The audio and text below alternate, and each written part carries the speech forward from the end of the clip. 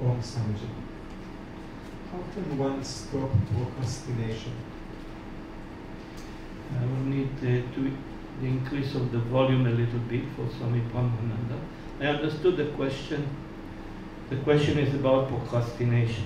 Yes. Procrastination means that what I can do now, uh, I, I postpone for the future. So if I can do it today, postpone it for tomorrow. I say from tomorrow I'll start to wake up at 5.30 a.m. to come to satsang.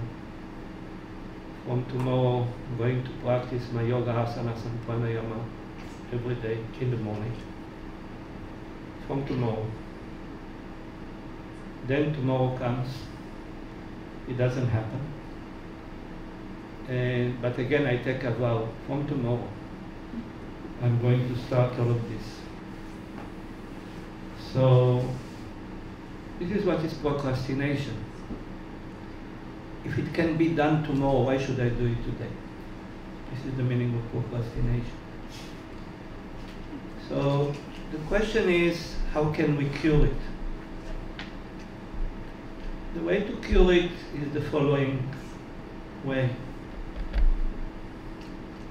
We need to start with one thing. We need to identify one thing that I happily postpone to tomorrow. Just one thing, not many things. I have to identify. And temporarily I should forget about other things.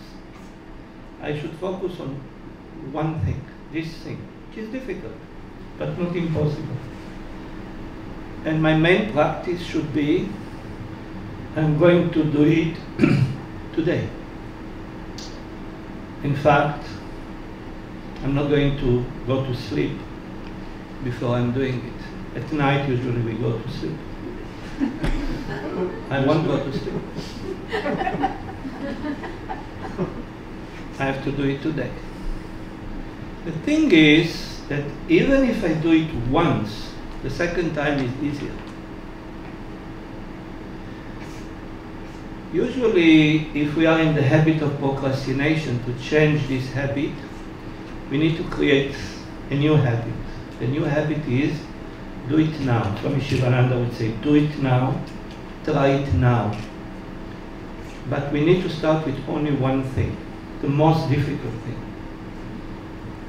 And then, after a while, we will see that this becomes easier. Then we need to take the second most difficult thing, this. Slowly, slowly, it takes usually about three months. If we persevere with this practice for three months, we are, we are going to abolish procrastination. All you need is three months. Three months, every day, we need to do now something which we happily would postpone to tomorrow. Every single day. Three months, that's all. Three months and procrastination will be cured.